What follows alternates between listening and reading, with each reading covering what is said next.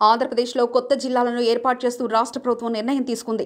Parliament నియోజకవర్గాల వారీగా కొత్త జిల్లాలు ఏర్పాటయ్యాయి. కృష్ణా జిల్లా రెండుగా విడిపోయింది. విజయవాడ కేంద్రంగా కొత్తగా జిల్లా ఏర్పాటైంది ఈ జిల్లాకు స్వర్గీయ నందమూరి తారక రామారావు పేరు ప్రభుత్వం ఖరారు చేసింది.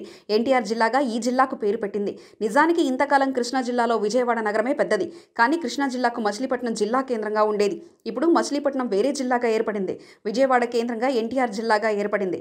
ఎన్టీఆర్ జిల్లాలో మొత్తం ఏడు అసెంబ్లీ నియోజకవర్గాలు ఉన్నాయి. Vijayawada west Vijayawada central Vijayawada east Nandigama Jaggayyapeta Tiruvuru Mylavaram నియోజకవర్గాలు ఎన్టీఆర్ జిల్లాలో ఉన్నాయి.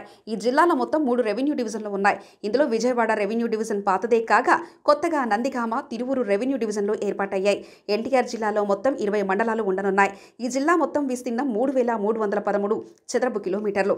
రెండు వేల పదకొండు జనాభా లెక్కల ప్రకారం ఎన్టీఆర్ జిల్లా జనాభా ఇరవై రెండు పాయింట్ ఒకటి తొమ్మిది లక్షలుగా ఉంది. మండలాల విషయానికి వస్తే విజయవాడ రెవెన్యూ డివిజన్లో ఇబ్రాహీపట్నం విజయవాడ తూర్పు పశ్చిమ ఉత్తర సెంట్రల్ విజయవాడ గ్రామీణ మండలాలు నందిగామ రెవెన్యూ డివిజన్ నందిగాము వీరులపాడు కంచికచెర్ల చందర్లపాడు జగ్గయ్యపేట వస్తవాయి పెనుగంచిప్రోలు తిరువూరు డివిజన్లో మైలవరం జీకొండూరు రెడ్డిగూడెం గంపలగూడెం తిరువూరు ఏకొండూరు మండలాలు ఎన్టీఆర్ జిల్లాలో ఉంటాయి. గతంలో ముఖ్యమంత్రి కాకముందు వైఎస్ జగన్ కృష్ణా జిల్లాలో పర్యటించినప్పుడు జిల్లాకు ఎన్టీఆర్ పేరు పెడతానని హామీ ఇచ్చారు. ఇందులో భాగంగానే ఈ జిల్లాకు ఎన్టీఆర్ పేరు పెట్టారు. అయితే ఎన్టీఆర్ పుట్టి పెరిగిన నిమ్మకూరు గ్రామం పామరు నియోజకవర్గంలో ఉంది. ఈ నియోజకవర్గం ప్రస్తుతం మచిలీపట్నం జిల్లాలో ఉంది. కానీ ప్రభుత్వం మాత్రం విజయవాడ కేంద్రంగా ఏర్పడిన జిల్లాకే ఎన్టీఆర్ పేరును ఖరారు చేసింది.